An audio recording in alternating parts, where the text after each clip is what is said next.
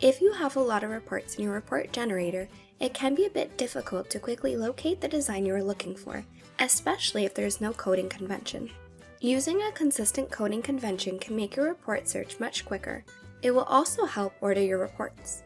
An example of a coding convention you can utilize is adding a few characters at the beginning of each report design code.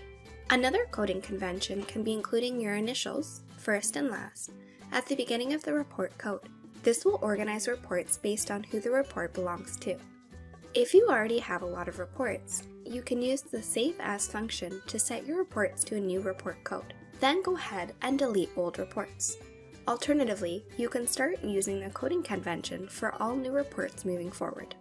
Regardless of what coding system your club decides to use, make sure that everyone works together to use the same coding convention to have consistency across your reports. It can also be very helpful to have a clear and meaningful title for your reports. This will make it much easier to quickly note what the report is actually built for, instead of having to open it, run it, etc., to determine what the report is being used for. If you find yourself skimming through a long list of reports that includes reports you haven't used in ages, consider deleting those old reports. This is as simple as selecting the report, clicking the delete button, and confirming the deletion of the report. This will shorten your list of reports to only include the reports you actually use. You can also go in and delete any test reports that you don't need.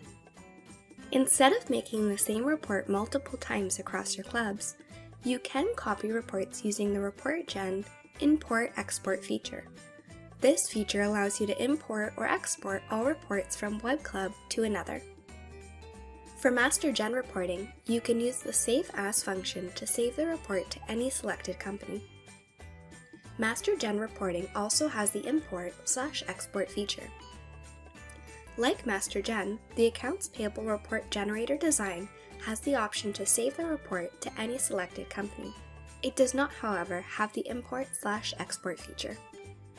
Thanks for watching, stay tuned for more how-to videos, and don't forget to subscribe.